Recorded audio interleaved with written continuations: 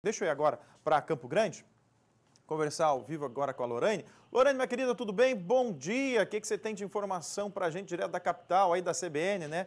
Rádio que compõe também, que faz parte aí do grupo RCN de comunicação. Oi, Rude. Bom dia para você, também a todos os que nos acompanham.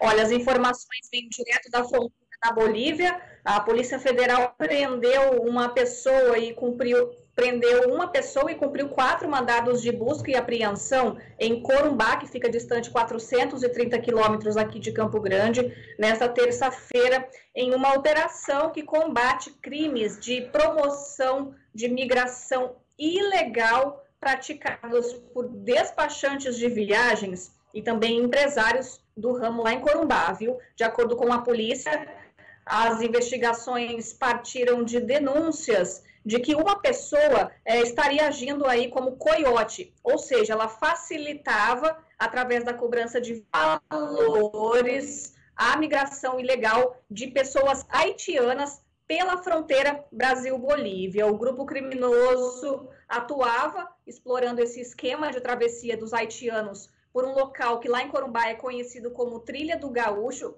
que fica nessa divisa do Brasil com a Bolívia.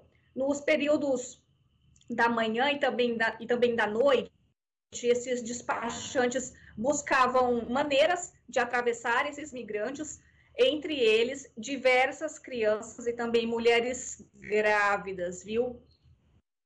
Cobravam dessas pessoas para que essa travessia fosse feita. Dentro da trilha, esses estrangeiros eram auxiliados por é, chamados carregadores, que são bolivianos, e tinham aí a função de mostrar o percurso correto até o território do país vizinho. Esses carregadores também prestavam apoio no transporte das malas dos haitianos.